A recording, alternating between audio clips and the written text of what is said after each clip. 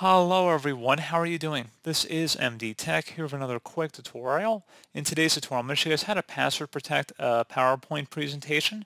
So this should hopefully be a pretty straightforward process here guys, and without further ado, let's go ahead and jump right into it.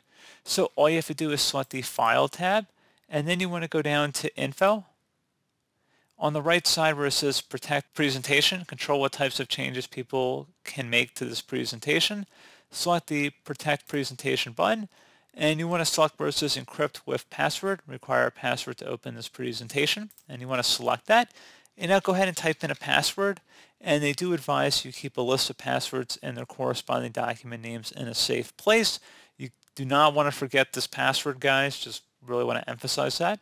And select OK, and then they will ask you to confirm that password one more time, and now it is password locked.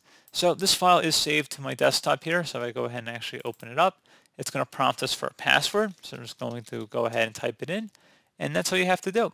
So pretty straightforward process, guys. Do hope I was able to help you out. And I do look forward to catching you all in the next tutorial. Goodbye.